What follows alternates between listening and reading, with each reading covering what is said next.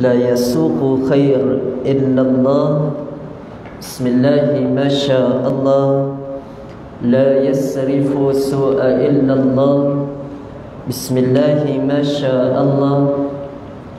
ما كان من نعمة فمن الله. بسم الله ما شاء الله. لا يأتي بحسنة إلى الله. بسم الله ما شاء الله. لا حول ولا قوة إلا بالله العلي العظيم. اللهم أنت ربي لا إله إلا أنت. خلقتني وأنا عبدك وأنا على عهدك ووعدك. ما استطعت أعوذ بك من شر ما صنعت أبوء لك بنعمتك علي وأبوء بذنبي. فاغفر لي فإنه لا يغفر الذنوب إلا أنت نويت تعلما وتعلما وتذكرا وتذكيرا ونفعا والانتفاع والإفادة والاستفادة والحث على تمسك بالكتاب الله وسنة رسول الله صلى الله عليه وعلى آله وصحبه وسلم والدعاء إلى هدى والتلالة على الخير ابتقاء وجه الله ومرضاته وقربه وصوبه سبحانه وتعالى أمين أمين يا رب العالمين أما بعد. Dan yang dihormati lagi dikasihi Tuan Pengerusi Masjid Serta ahli kepimpinan masjid Tuan-tuan imam, tuan-tuan bilan Juga ibu-ibu dan ayah-ayah yang dimuliakan oleh Allah Subhanahu wa ta'ala. InsyaAllah sebelum kita memulakan kitab Ya'ni Bulughul Marram InsyaAllah bagi memberkati lagi yakni pada malam ini insyaallah kita membaca umul kitab suratul fatihah juga yakni kita hadiahkan kepada junjungan besar Sayyidina Nabi sallallahu alaihi wa ala alihi wasahbihi wasallam juga kepada para sahabat-sahabat baginda. Juga kepada isteri-isteri baginda. Dan juga kepada para tabi'in tabi'in. Dan juga kepada muslimin dan muslimat yang telah kembali ke rahmatullah. Syahiduhumul fatihah أعوذ بالله من الشيطان الرجيم. بسم الله الرحمن الرحيم. الحمد لله رب العالمين. الرحمن الرحيم. مالك يوم الدين. إياك نعبد وإياك نستعين. اهدنا الصراط المستقيم. صراط الذين أنعمت عليهم غير المغضوب عليهم ولا الضالين. آمين. قال مؤلف مصنف رحمه الله تعالى ونفعنا بعلومه في الدارين. آمين آمين. يا رب العالمين. Maka tuan-tuan yang dimuliakan oleh Allah Subhanahu wa taala yang mana Al-Fadil Tuan Guru Ustaz Bakri bin Yahya berhenti yang mana di muka surat yang ke-55 pada kitab yang mana saya pegang kali ini. Tak saya terbayar sikit tuan-tuan wallahu alam. Ha, di kitab tuan-tuan. Tapi yang mana dalam muka surat 55 ini juga yang mana membicarakan babul adabi qada'il hajat bab pada menyatakan segala adab qada hajat yakni kencing dan berak ha ni. Ni kata muallif dan musannif. Yang mana Syekh Muhammad Idris Al-Marbawi Al-Azhari Al-Malawi sebagaimana tuan-tuan yang dimuliakan oleh Allah Subhanahu wa taala yang mana kita tengok kitab Bulughul Maram ini juga yang mana dikarang oleh seorang ulama yang hebat yakni para tabi'in yang mana yang bernama Al-Imam Ibn Hajar Al-Asqalani. Tuan-tuan yang dimuliakan oleh Allah Subhanahu wa taala Sebelum masuk ni Kalau tuan-tuan biasa dengar kisah Al-Imam Ibn Hajar Al-Asqalani Yang dikisahkan oleh guru saya Syekh Nazrul Nazir Hafizahullah Ta'ala. Al-Imam Ibn Hajar Al-Asqalani Satu hari bila mana dia menuntut ilmu Bila mana dia mengaji ni tuan-tuan Satu ketika waktu tersebut Yang mana dalam Kelah ni tuan-tuan Al-Imam Ibn Hajar Al-Asqalani ni Seorang pelajar yang Bukanlah yang hebat Dan juga pelajar yang pandai. Dan sehingga kan subhanallah Satu ketika bila mana Guru Al-Imam Ibn Hajar Al-Asqalani Dalam keadaan nazar. Dan sehingga kan Sewaktu guru dia nazar dan guru dia menyatakan kepada sahabat-sahabat yang berada dalam rumahnya menyatakan yakni wasiat. Wasiat ni apa dia? Memberikan satu yang mana satu yang mana kepada seseorang. Apa dia? Guru dia kata wahai sahabat-sahabat aku sebentar lagi bila mana aku menghembuskan nafas yang terakhir aku ini Siapa-siapa pelajar aku yang masuk di pintu rumah aku yang pertama Aku wasiatkan dia Menggantikan tempat aku untuk mengajar. Allahu Akbar tuan-tuan. Dan sampaikan subhanallah Bila mana pintu yang mana Guru Al-Imam Ibn Hajar Al-Asqalani wafat Waktu tersebut pintu yang dibuka ini Siapa dia? Yang ni Al-Imam Ibn Hajar Al-Asqalani Subhanallah dan bila mana dalam keadaan tersebut keesokannya sahabat-sahabat guru dia ni menyatakan kepada Al-Imam Ibn Hajar Al-Asqalani menyatakan wahai Al-Imam Ibn Hajar Al-Asqalani guru kamu berwasiat kepada kami yang mana kamu perlu mengajar yang mana pengajian ya. Dan sehingga kan kata Al-Imam Ibn Hajar Al-Asqalani menyatakan wahai sahabat-sahabat guruku aku ni orang yang dalam keadaan belajar yang tidak pandai Aja yang tidak arif. Allahu Akbar. Sehingga kan aku nak menghuraikan Kitab ini juga dalam keadaan Bukannya perkara yang mudah Bahkan susah untuk diri aku Dan sehingga kan tuan-tuan Sahabat sahabat guru dia menyatakan Ini adalah wasiat kamu.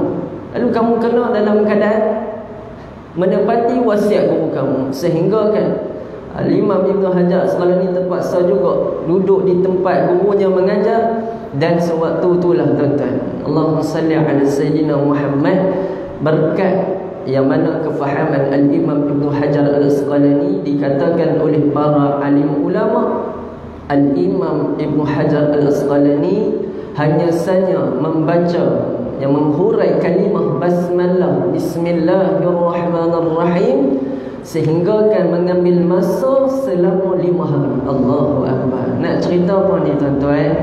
Dan cerita dia bahawasanya kata ulama yang mana pandai kita hari ini bukan daripada kita tapi pada Allah Subhanahu Wa Taala. Kita main mengaji ni tuan-tuan tak pandai adalah dalam keadaan kita tak faham mengaji ni tuan-tuan adalah bukan daripada kita. Bahkan kita letak semua hanya saja kepada siapa? Allah Subhanahu Wa Taala. Sebab apa? Wallahu ya'lamu ma fi qulubikum. Allah yang kawal hati-hati kita. Baik.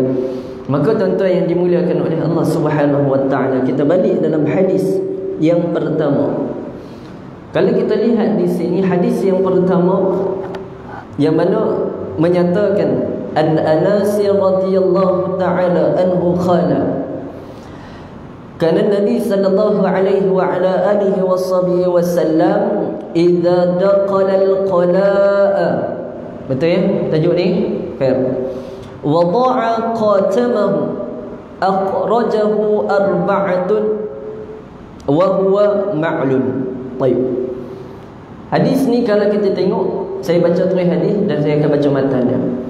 Hadis ni kalau kita tengok Tuan-tuan yang dimuliakan oleh Allah Subhanahu wa ta'ala Diriwayatkan An Anasi radhiyallahu ta'ala anhu daripada seorang sahabat Nabi sallallahu alaihi wa ala alihi wa sahbihi wasallam siapa dia ni? Sayyidina Anas bin Malik radhiyallahu taala anhu katanya kata Nabi sallallahu alaihi wasallam idza daqala al-qala'an apa dia? Adalah Rasulullah sallallahu alaihi wasallam menyatakan apabila masuk ia wada'al qatamahu yakni akan tempat kosong. Kita cerita yang mana nota kaki. Nak tengok dari sini yakni tempat kosong ni apa dia yakni kata Nabi sallallahu alaihi wasallam jamban Ah, berbalik kalau kita tengok pada zaman baginda Nabi sallallahu alaihi wa ala alihi wasallam tak ada jamban macam kita hari ni tuan-tuan. Tuan-tuan kena tahu. Bukan adanya macam kita masuk jamban ni kita ada tempat flash kita ah, pada zaman Rasulullah tak ada. Dan kalau kita tengok pula akan tempat kosong. Meletak ia akan cincinnya. Cincin ni wada'a qatamahu. Qatam. Aqrajahu arba'ah. Aqraja arba'ah ni apa dia?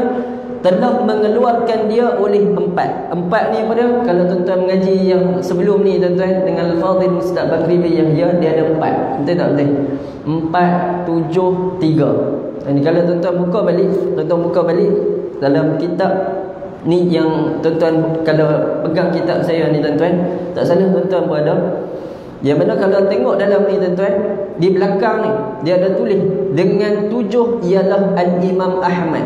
Ha, Di belakang ni ada tuan-tuan. Dan tiga yang awal Empat mereka yang lain. Ha, Dia cerita yang ni lah tuan-tuan.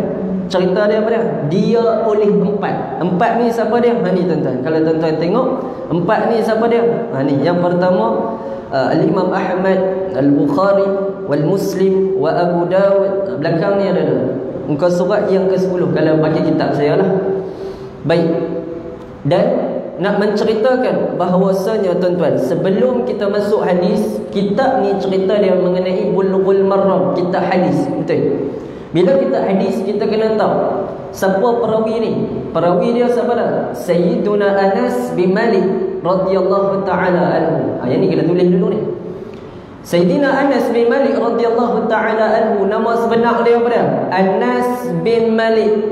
Anas bin Malik An-Nadar bin Dum Dum Al-Ansari Al-Qasraji ha, Tuan-tuan kena tulis ya. Dah mengaji kitab ni Anas bin Malik ni bin apa? Bin An-Nadar Bin An-Nadar Bin Dum Dum Al-Ansari Al-Qasraji Cerita dia apa? Sayyidina Anas bin Malik ni adalah kaum Ansar Boleh faham tak? Dan yang seterusnya Sayyiduna Anas bin Malik ni kata dalam riwayat beliau disebut dengan dua gelaran. Yang pertama Abu Hamzah. Ah, ini yang pertama. Yang kedua disebut khadam Nabi sallallahu alaihi wa ala alihi wasallam. Khadam ni apa tuan-tuan? Khadam ni pembantu. Ha, pembantu. Bantu ni contohlah tuan-tuan. Zaman kita ni tak ada. Zaman kita hari ni kalau orang yang bawa para alim ulama, para ustaz ni orang panggil apa tuan-tuan? Khadam juga, bantu juga. Tapi orang panggil hikmat, hikmat. Hikmat ni lagu mana tuan-tuan? Macam ni juga. Seperti mana Sayyidina Anas bin Malik radhiyallahu ta'ala anhu subhanallah. Baik. Sayyidina Anas bin Malik ni lahir dekat mana? Kita mengaji kitab hadis tapi kita kena tahu mengenai sahabat Rasulullah sallallahu alaihi wasallam. Beliau lahir di Yasrib Yasrib yang mana 10 tahun sebelum hijrah Tuan-tuan Lahir di Yasrib Di Yasrib 10 tahun sebelum hijrah dan Sayyiduna Anas bin Malik dalam riwayat menceritakan mempunyai jalur. Jalur ni apa tuan-tuan? Nasab kekeluargaan sampai ke Nabi sallallahu alaihi wa ala alihi wasallam. Jalur dia dekat mana ni? Dekat ibu baginda Nabi sallallahu alaihi wa ala alihi wasallam. Tuan-tuan, kalau tuan-tuan tahu, Sayyiduna Anas bin Malik ni cerita dia dia berkhidmat menjadi khadam Nabi sallallahu alaihi wasallam. Ini poin juga. Jadi khadam Nabi sallallahu alaihi wasallam berumur 10 tahun. Tuan-tuan, 10 tahun khidmat dengan Nabi sallallahu alaihi wasallam ibunya yang bernama Umaysah binti Milhan serah kepada Nabi sallallahu alaihi wasallam ya Rasulullah anak aku ni dalam keadaan aku serahkan kepadamu ya Rasulullah waktu tu cerita dia apa Sayyiduna Nabi sallallahu alaihi wasallam datang ke tempat Sayyidina Anas bin Malik waktu tu ibunya dalam keadaan tiada apa-apa harta. Hanya saja ada apa ni tuan-tuan? Ada anak dia. Ya? Bila ada anak ni, anak dia siapa? Anas bin Malik radhiyallahu taala. Dia buat apa? Dia serah kepada Nabi sallallahu alaihi wasallam untuk khidmat kepada baginda Nabi sallallahu alaihi wa ala alihi wasallam.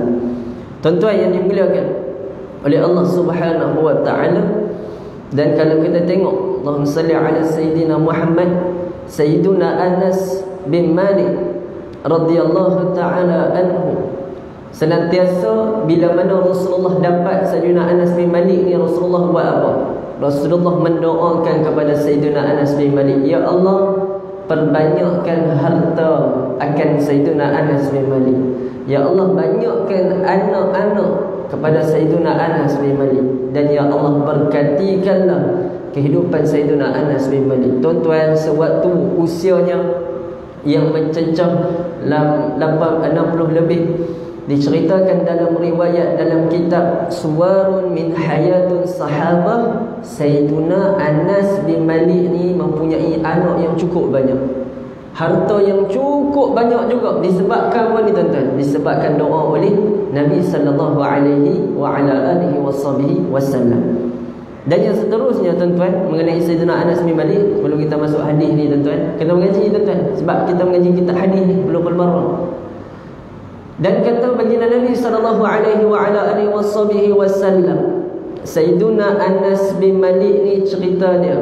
Apa dia? Dia ni dalam keadaan khatam Al-Quran. Ha, Hebat dalam membaca Al-Quran dan khatam Al-Quran. Dan sehingga kan kata baginda Nabi Sallallahu Alaihi Wasallam Sayyidina Anas bin Malik ni terlibat semua peperangan dengan Rasulullah. Sejak daripada apa? Peperangan badar. Ini kata uh, para alim ulama. Dan yang seterusnya tuan-tuan Yang Uh, penghabisan mengenai Sayyiduna Anas bin Malik. Sayyiduna Anas bin Malik menetap di Damsyik selepas kewafatan Nabi sallallahu alaihi wasallam. Wafatnya Rasulullah Sayyidina Anas bin Malik terus berpindah ke Damsyik. Sebab apa? Tak mau duduk di Madinah dan di Mekah sebab sewaktu itu Sayyidina Anas bin Malik dalam keadaan apa ni tuan-tuan senantiasa teringat kepada Nabi sallallahu alaihi wasallam. Tuan-tuan fikir Sayyidina Anas bin Malik himat dengan Rasulullah umur 10 tahun tuan-tuan. Cukup lama Allahu akbar. Sebab selagi mana dia pergi ke Madinah, selagi mana dia pergi ke Mekah dia akan ingat di mana dia Rasulullah berhenti, di mana Rasulullah dalam keadaan berbicara dengan dia. Allahu akbar. Dan sehingga kan bila mana Sayyidina Anas bin Malik ikut dengan Nabi sallallahu alaihi wasallam dalam kitab menyatakan Sayyidina Anas bin Malik meriwayatkan hadis Nabi sallallahu alaihi wasallam sebanyak 2286 hadis daripada Nabi sallallahu alaihi wa ala alihi wasallam. Dan tuan-tuan yang dimuliakan oleh Allah Subhanahu wa taala, Sayyidina Anas bin Malik meninggal dunia pada tahun 91 Hijrah Pada tahun berapa? 91 Hijrah Usia Sayyidina Anas bin Malik ni umur dia berapa? 100 tahun Allahu Akbar Dan tuan-tuan yang dimuliakan oleh Allah SWT Dikisahkan dalam kitab Muktabat Sayyidina Anas bin Malik di antara sahabat yang terakhir meninggal dunia. Allahu Akbar. Dan tuan-tuan yang dimuliakan oleh Allah Subhanahu wa taala jenazah Sayyidina Anas bin Malik diuruskan oleh tabi'in. Tabi'in ni pada orang yang tidak berjumpa dengan Nabi sallallahu alaihi wa wasallam. Tetapi yang mana berjumpa dengan sahabat Nabi sallallahu alaihi wasallam. Siapa dia yang uruskan jenazah Sayyidina Anas bin Malik yakni Muhammad bin Sirin dan sewaktu cerita dia nak masuk jenazah Sayyidina Anas bin Malik dikapalkan sekali dengan Sayyidina Anas bin Malik dengan apa ni? Tongkat baginda Nabi sallallahu alaihi wa ala alihi wasallam masuk sekali dalam Allahumma salli ala sayyidina Muhammad kubur. Baik. Tuan-tuan yang dimuliakan oleh Allah Subhanahu wa taala, balik dalam hadis ni. Kalau kita tengok berkaitan dalam hadis ini kata baginda Nabi sallallahu alaihi wasallam Kata Nabi sallallahu alaihi wasallam idza daqala al-qala'a qala'a tu apa dia? Artinya tempat yang kosong yang disediakan bagi qada hajat. Qada hajat ni apa dia? Yakni perkara-perkara yang kotor. Apa dia ni tuan-tuan? Yakni kencing dan berak ini dalam kitab bulughul maram dan kalau kita tengok Seterusnya kata baginda Nabi sallallahu alaihi wasallam telah mengatakan dia oleh Al-Muhdziri dan Ibnu Daqi Al-Ain. Dan yang seterusnya kalau kita tengok kata Nabi sallallahu alaihi wasallam wada'al qatamahu. Wada'al qatamahu ni qatam ni dah? Cincin, qatam, cincin. Artinya meletakkan cincinnya sebab pun ia meletak cincinnya itu kerana bahawasanya ada tertulis padanya Muhammad Rasulullah. Macam ni lah tuan-tuan. Cincin macam ni. Macam saya pakai ni cincin capan Nabi. Cincin capan Nabi. Uh, kalau sebelum ni ada cincin yang tulis uh, Qaddamul Anbiya. Tulis Rasulullah sallallahu alaihi wa ala alihi wa sahbihi wasallam. Baik. Kalau kita tengok Nabi SAW sendiri menyatakan kalau kita tengok Rasulullah apabila ia akan masuk ke tempat yang kosong. Kosong ni kita dah cerita dah tadi. Apa dia? Masuk ke tempat yang ni khadah hajat apa dia? Jamban tandah tuan-tuan kalau kita tengok Nabi SAW meletakkan cincinnya itu. Sebelum nak masuk tandah ni Rasulullah letak dulu. Tapi zaman Rasulullah ni tak ada jamban lah tuan-tuan. Cerita Rasulullah letak Yang ni letak di mana? Wallahu a'lam. Tengok meletakkan di tempat Yang tidak dekat dengan khadah hajat. Anda faham tuan Macam kita sebelum nak masuk tanah ni tuan-tuan. Contohnya Kita bawa cincin ni. Cincin ada pula kalimah Allah Ini ada banyak ni tuan-tuan Kalau bawa cincin ada capan ni boleh tak boleh ni Tuan-tuan Boleh tak boleh? Boleh tak ada masalah Sebab dia tak ada kalimah-kalimah yang menyucikan tuan-tuan. Itu yang kalau kita tengok Allahumma salli ala sayyidina Muhammad bila kita masuk dalam tanda bila kita masuk dalam jamban ni tuan-tuan tak boleh berzikir. Sungguh tak sungguh. Ini kata ulama. Sebab apa tuan-tuan? Sebab dalam keadaan tempat yang kotor. Bila kotor ni tuan-tuan tak meletakkan seseorang bila dia mengucap zikir tersebut asbab dia akan dosa kepada Allah Subhanahu wa taala. Sebab apa?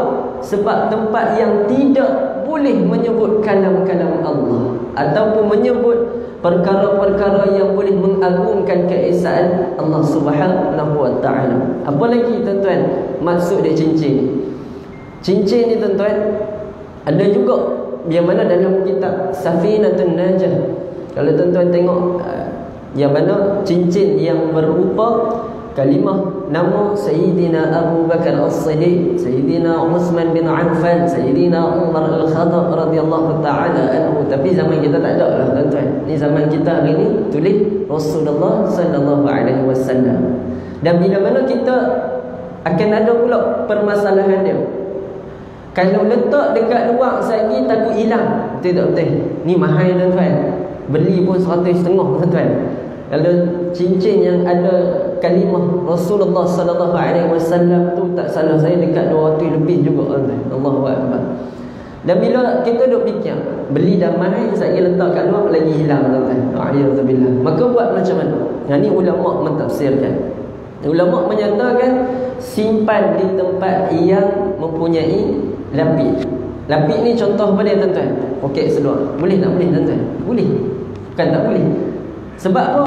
Yang ni poket tersebut yang ni berlapis. Bila berlapis ni tuan-tuan, sayyidina Muhammad, sifat dia untuk apa tuan-tuan? Sifat poket ni buat apa? Untuk menyimpan sesuatu benda. Ini kalau kalau kaedah fiqh. Menyimpan satu-satu benda. Bila satu-satu benda ni apa? Cincin. Sebab apa tak simpan dekat luar ni? Sebab dikuatiri bila mana simpan dekat luar, letak dekat luar akan hilang. Ha, macam tu juga tuan-tuan. Kalau kita bawa Al-Quran Nah contoh Al-Quran kalau kita bawa Masuk dalam tanda boleh atau tidak boleh tak boleh melainkan Al-Quran tersebut adanya lampik maksud dia lampik ni bekas yang boleh menutup Al-Quran tersebut. Contoh apa ni tuan-tuan? Contoh beg saya ni tuan-tuan. Kita letak Al-Quran saat ni kalau letak kat luar ni kita khawatir. Khawatir sebab apa? Sebab takut hilang.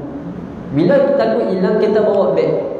Tapi dalam keadaan kalau kita fikir balik kita hari ni Allahumma salli ala sayyidina Muhammad tak pernah lah bawa Al-Quran terus nak baca Al-Quran terus tak. Kita akan bawa apa ni tuan-tuan. Beg. Macam tuan-tuan hari ni. Nak beg main mengaji ada beg. Betul tak betul bila ada beg ni tuan-tuan ada lapik dah. Ada lapik. Maka bila mana nak masuk dalam tandah nak bawa beg ni boleh atau tidak boleh dalam tersebut beg ni ada Al-Quran. Dibolehkan ulama kata. Dan kalau kita tengok tuan-tuan yang dimuliakan oleh Allah Subhanahu Wa Taala berbeza juga kalau kita bawa handset handset ni kalau kita kena faham. Handset kita tahu hukum dia pada masuk dalam tanda. Boleh tak boleh? Boleh tak ada masalah pun. Sebab handset tu bukannya fungsi utama dia adalah membaca yang ni kalam Al-Quran musahab tersebut. Handset ni fungsi utama dia pada telefon dan mesej. Ha, ni tentu kena faham. Ni hukum fiqh dan bila mana Al-Quran sebab apa kita melapik? Sebab itu adalah yang mana kalam-kalam Allah yang sangat mulia. Kita kena jaga. Bila kita kena jaga ni, kena benda yang melapik. Dan ada juga pula ulama menyatakan cincin ni tuan-tuan cerita dia. Kalau tak mau simpan dalam poket, boleh genggam dengan tangan kita. Tapi nak genggam nak basuh lagu mana tuan-tuan? Ha, macam tu ceritanya. Genggam-genggam lepas cincin hilang pula lah tuan-tuan. Maka subhanallah dibolehkan. Begitu juga macam jubah kita pakai. Ada poket tak tuan-tuan? Ada. Boleh tak simpan? Boleh, tak ada masalah. Begitu juga Al-Quran. Kalau kita bawa contoh lah tuan-tuan, kita tak bawa beg ni. Lalu kita ada poket kita ni, boleh tak boleh? Dibolehkan. Boleh faham tuan-tuan? Tak boleh kita bawa Al-Quran masuk terus dalam tanah. Wa'iyadzubillah. Ini kena berjaga-jaga dengan perkara-perkara yang boleh mendatangkan dosa kita kepada Allah Subhanahu wa taala. Baik. Dan kalau kita tengok subhanallah tuan yang dimuliakan oleh Allah Subhanahu wa taala yakni kalau kita tengok meletak ia akan cincinnya cincin ni kalau kita tengok dan pada hadis itu dalil atas memelihara apa-apa yang ada padanya nama Allah Taala daripada segala tempat yang kena najis. Ha. Kalau kita tengok Allah salli ala sayyidina Muhammad kata baginda Nabi wasallam lagi telah mengeluarkan dia oleh empat dan ia hadis yang ma'lul. Hadis ma'lul ni tuan-tuan kena tahu. Hadis yang ma'lul ni kata uh, para alim ulama Allahumma salli ala sayyidina Muhammad Hadis yang maklul Maksud hadis yang maklul adalah apa? Adalah hadis yang terdapat padanya kecacatan Faham tuan-tuan? Dan tersembunyi sama ada sanad atau matan Tetapi pada zahirnya dilihat selamat. Boleh tak tuan-tuan bagi hadis ni? Boleh, tak ada masalah Dan kalau kita tengok hadis yang mana dikatakan sebagai ma'lul ni apa dia? Nak tengok dia kata para alim ulama jenis-jenis illah dia. Illah ni apa dia? Kesalahan dah kata apa dia? Yang pertama pada sanad sahaja. Kadang-kadang ada sanad dia salah ni tuan-tuan yang kedua pula pada matan dia matan ni apa dia tuan-tuan contohnya Uh, perkataan yang mana diceritakan dalam hadis tersebut ada sedikit penafian. Dan yang ketiga, kata ulama pada sanad dan matan, kedua-dua sekali ada masalah. Maka kalau kita tengok hari ini hadis ini boleh dipakai atau tidak? Boleh dipakai. Maka tentu yang dimuliakan oleh Allah Subhanahu wa taala berbalik kalau kita tengok Allahumma salli ala sayidina Muhammad.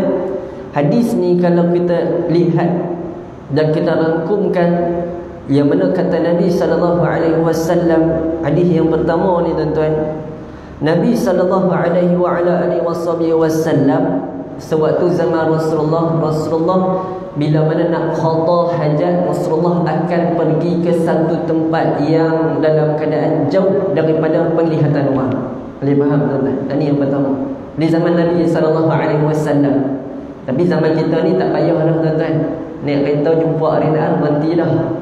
Naik kereta jumpa masjid berhentilah. Alhamdulillah hari ini kita diberi yang yang mana hikmat hikmah yang mana Allah bagi kepada kita yang kedua pula hadis ini kalau kita tengok Nabi sallallahu alaihi wa ala alihi wasallam yang mana akan mencari tempat yang kosong. Tempat yang kosong ni maksud dia pada tempat yang tidak ada lubang. Ahli faham ni tuan-tuan? Tempat yang tidak yang mana Allah salli ala sayyidina Muhammad ada binatang-binatang. Ha, contoh apa tuan-tuan? Kita nak pergi qada hajat. Contohlah tuan-tuan eh. Kita duduk kereta ni duduk cari arenaan tak jumpa. Contoh bila nak jumpa ni tuan-tuan kita berhenti tepi jalan. Bila kita berhenti tepi jalan kita nak cari tempat qada yang hajat. Dalam keadaan tidak nampak orang ni lagu mana. Selalunya kita bila kita berhenti arenaan ni dia akan ada bawah betul tak bila bawah tu tuan-tuan jauh dak pada pandangan mata orang. Jauh tak nampak orang lah dan paling cantik kalau kita tengok ulama menyatakan cari tempat yang tidak adanya binatang-binatang. Yang mana binatang tersebut yang mana tidak meletakkan tempat kediaman dekat situ. Contoh apa tuan-tuan ular.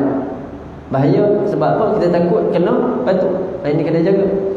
Dan juga tempat-tempat yang dalam keadaan kosong ni kena faham tuan-tuan. Yang dalam keadaan yang yang saya cakap tadi jauh daripada pandangan orang.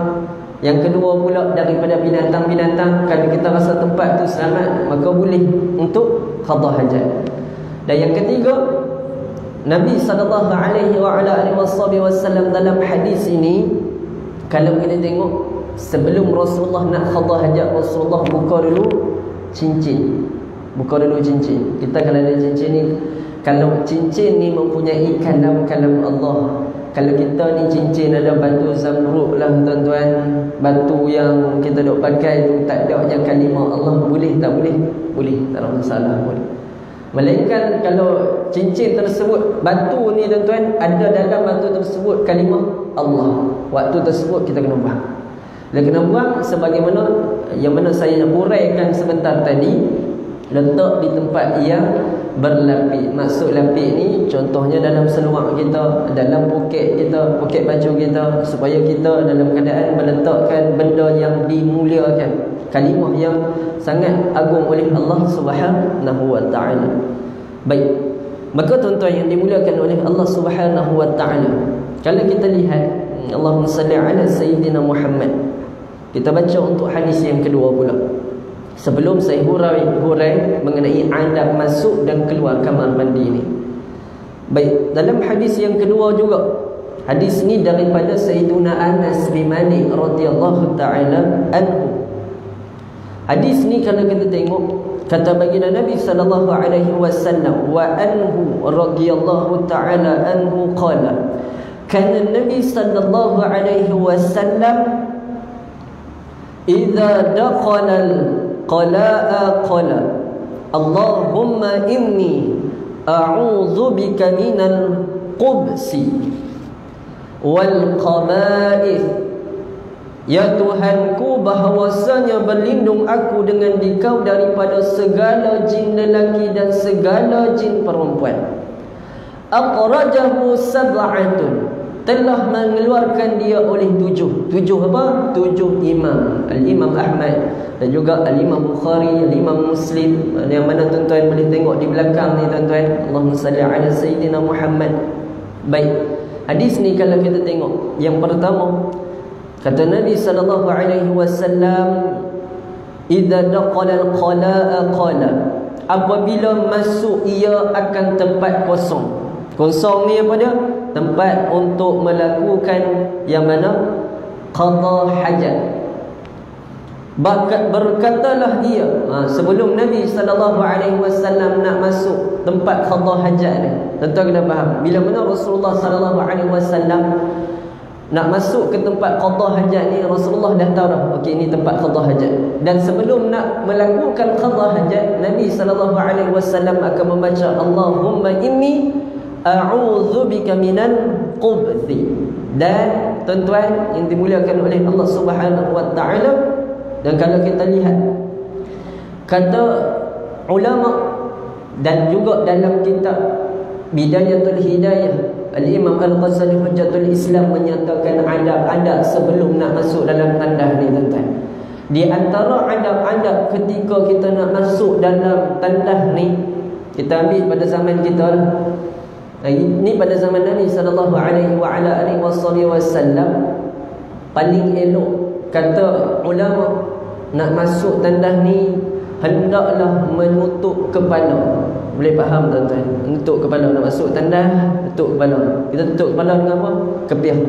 Kopiah kita. Songkok pun boleh Tak ada masalah tuan-tuan. Dan Allah salli ala Sayyidina Muhammad Tutup kepala apa dia?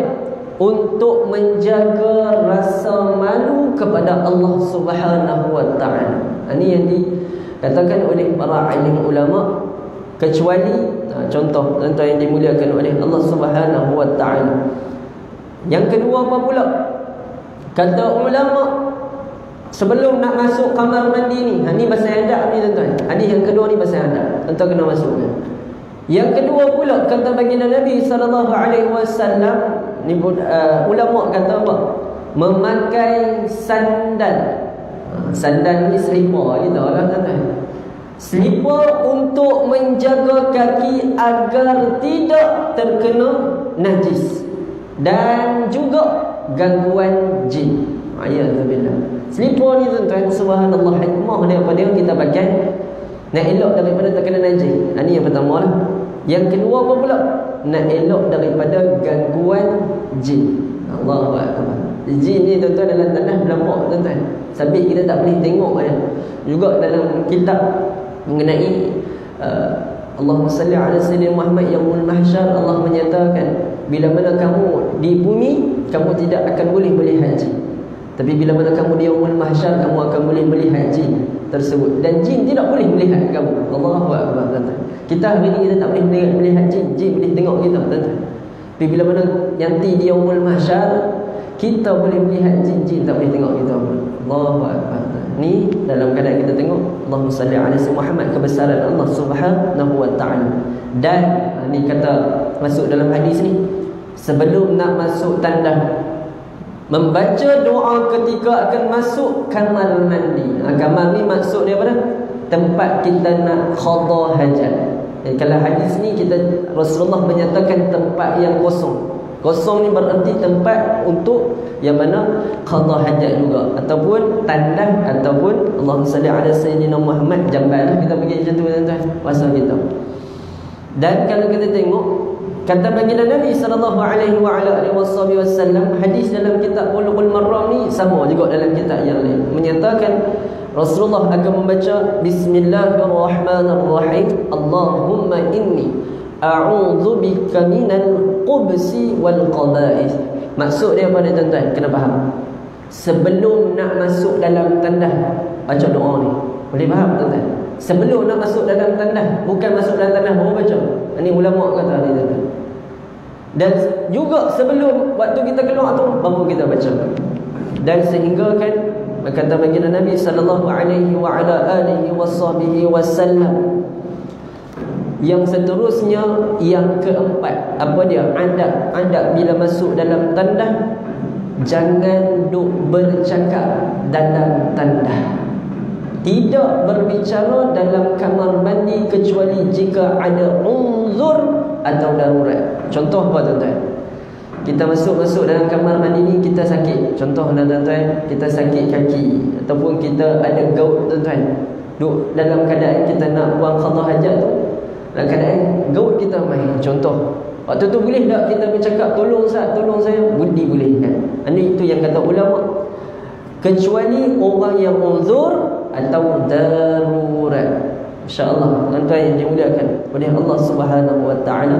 Wallahu a'lam. Kita berhenti di hadis yang kedua ini dan kita akan menceritakan lagi mengenai adab-adab mengenai uh, untuk orang yang dalam keadaan masuk dan keluar kamar mandi ataupun dipanggil khadha hajat pada menyatakan segala adab yakni kencing dan berak wallahu a'lam. Tuan-tuan yang dimuliakan oleh Allah Subhanahu wa taala boleh kodoh mati dekat tu. Sebab dah masuk dah. InsyaAllah tuan-tuan yang dimuliakan oleh Allah SWT Yang terbaik dan baik adalah semuanya datang daripada Allah SWT Sebelum saya tutup Ingin saya ceritakan kepada tuan-tuan Baru-baru ni saya pergi jumpa dengan guru kita Al-Fadhil Ustaz Bakri bin Yahya. Alhamdulillah Ustaz Bakri bin Yahya Dalam keadaan sihat Cumanya Yang mana saya tengok Keadaan dia yang pertama uh, Daripada segi percakapan ni Susah dalam keadaan untuk berkata-kata. Kita dengar ceramah dia cukup cukup lantang. Allah Akbar tuan Waktu saya pergi pun dalam keadaan Ustaz kenal tak saya. Baikkan dia cakap kepada saya Menyatakan kalimah cukup-cukup susah tuan Ustaz kenal tak saya. Dia kata Ustaz Lambat sangat tuan Azizi. Dan waktu dia nak ke tandas ni juga kena pimpin dia. Waktu tu juga kalau kami tengok dekat di sisi kantin dia ni kena pegang satu kain ni tuan-tuan sebab nak buat pergerakan tuan-tuan. Dan pada hari ni Fadil Ustaz Bakri bin Yahya kena tiap-tiap kali ada jadual dia. Tak salah saya selasa dan Khamis pergi ke Hospital Sebarang Jaya untuk buat rawatan fisioterapi tuan-tuan untuk bergerak kembali tuan-tuan nak bagi kuat dan kita doa tuan-tuan Mudah-mudahan Allah beri kesembahan kepada guru kita Al-Fadhil Ustaz Bakri bin Yahya. Saya mohon kemaafan tuan-tuan jika saya ada salah tersilap menyampaikan kitab ini yang ini kitab Bulughul Marrah dalam keadaan saya bukanlah sehebat dan juga sealim guru saya Fadhil Ustaz Bakri bin Yahya. Mohon tunjuk ajar tuan-tuan yang dimuliakan oleh Allah Subhanahu terbaik semuanya datang daripada Allah, yang khilaf jahil datangnya semua daripada diri saya sendiri. Insya-Allah kita akhir kalam dengan tasbih kafarah dan surah Al-As. Subhanallah اللهم وبحمدك أشهد أن لا إله إلا أنت استغفرك وأتوب إليك أعوذ بالله السميع العليم من الشيطان الرجيم بسم الله الرحمن الرحيم والعز إن الإنسان لفي خسر إلى الذين آمنوا وعملوا الصالحات وتواصوا بالحق وتواصوا بالصبر بسم الله الرحمن الرحيم. الحمد لله رب العالمين والصلاة والسلام على رسول الله وعلى آله وصحبه أجمعين. اللهم فقهنا في الدين اللهم فقهنا في الدين اللهم فقهنا في الدين. وعلمنا تأويل واهدنا الصراط المستقيم. صراط الذين أنعمت عليهم من النبي والصديقين والشهداء والصالحين. وحسن أولئك رفيق يا أرحم الراحمين. وصلى الله على سيدنا محمد وعلى آله وصحبه وبارك وسلم والحمد لله رب العالمين. السلام عليكم ورحمة الله وبركاته. بسم الله